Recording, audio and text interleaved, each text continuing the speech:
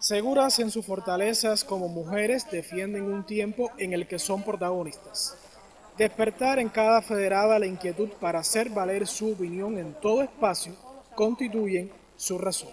A partir de todos estos vestigios de discriminación, de diferencias sociales, de, estados de violencia que se han generado también por situaciones económicas y por situaciones de estrés, la pandemia dejó eh, un estado de violencia en la, en la sociedad que tenemos que, eh, como parte de nuestra labor comunitaria, como parte de nuestra labor preventiva, también en las instituciones además y en la comunidad, trabajar el tema de la violencia. Así la Federación de Mujeres Cubanas en Cienfuegos crea en cada municipio de la provincia los mecanismos para aplicar desde las normativas jurídicas los derechos que les asisten. La Casa Social de la Unión de Juristas de Cuba, donde está el proyecto Iniciativa Jurídica en Clave de Género,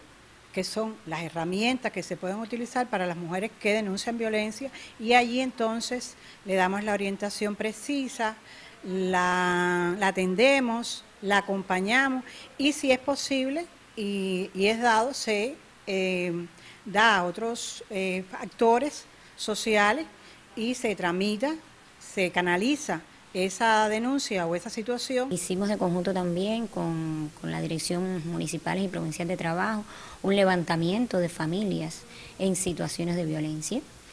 que no estamos satisfechos, van a seguir saliendo porque eh, en la medida que nos sigamos capacitando, seguiremos haciendo, identificando y, podremos,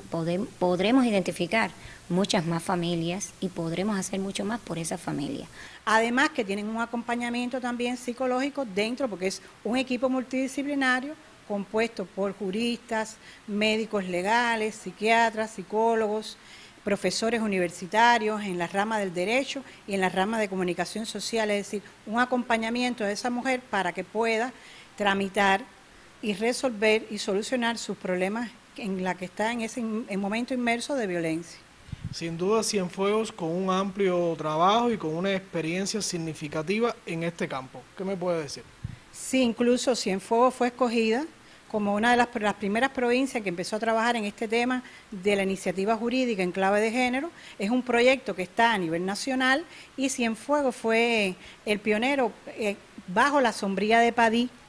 y por los Países Bajos, pues en el caso de Bélgica que también hubo un, acompañamiento y un apoyo económico a la apertura de esta iniciativa cuando este 23 de agosto la organización femenina Arribas Universario 63, su función como representante del criterio de la familia y de la mujer, asumirá otros compromisos que irán siempre acompañados de la mirada y el pensamiento eterno de Vilma Espín. Yuniel González Hernández, Notisur.